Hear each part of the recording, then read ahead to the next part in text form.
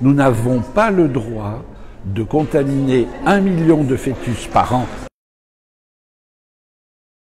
Je m'appelle Charles Sultan, je suis professeur d'endocrinologie pédiatrique et surtout euh, je travaille depuis près de 20 ans sur les conséquences de la pollution environnementale sur la santé de l'enfant. Je pense qu'il faut commencer très tôt, c'est-à-dire au moment où vous envisagez de faire un bébé.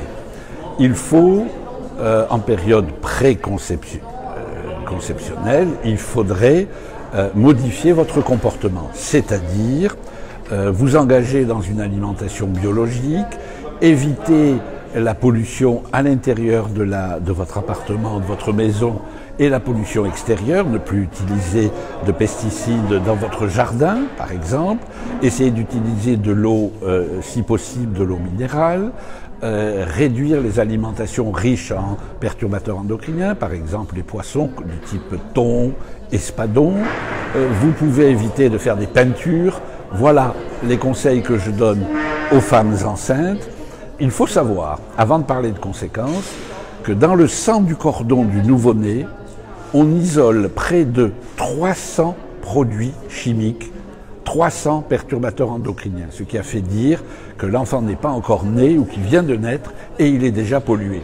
Donc il y a urgence à protéger la femme enceinte parce que c'est pendant la période fétale que se situe la zone la plus sensible aux perturbateurs endocriniens. C'est ce qu'on appelle une, fenêtre de euh, sensibilité euh, qu'il faut absolument protéger. Non seulement parce qu'elle va impacter le fœtus, elle va impacter le nouveau-né, mais qu'on sait maintenant que toute agression par les perturbateurs endocriniens pendant la vie fétale va retentir chez le nouveau-né, chez l'enfant, chez l'adulte, à travers une pathologie. C'est ce qu'on appelle l'origine fétale de la pathologie adulte. Donc il faut protéger le fœtus. Et il faut le protéger d'autant plus qu'on sait maintenant qu'une pollution fétale, une pollution par les perturbateurs, par les produits chimiques, les pesticides, les plastiques, pendant la vie fétale risque d'être transmise aux générations futures.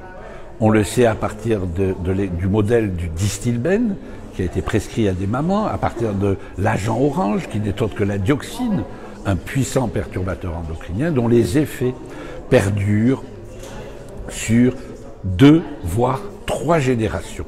Donc mon combat, qui est un combat médical, mais qui est aussi un combat d'ordre éthique nous n'avons pas le droit de contaminer un million de fœtus par an, puisque c'est le nombre de nouveau-nés, hein, un million de fœtus, et leur faire courir le risque d'avoir des malformations génitales, des retards de croissance, des troubles du développement psychologique, des autismes, des syndromes d'hyperactivité, des obésités, des pubertés précoces. Bref, il y a toute une pathologie secondaires aux perturbateurs endocriniens qu'on pourrait éviter en réduisant la contamination pendant la vie fétale.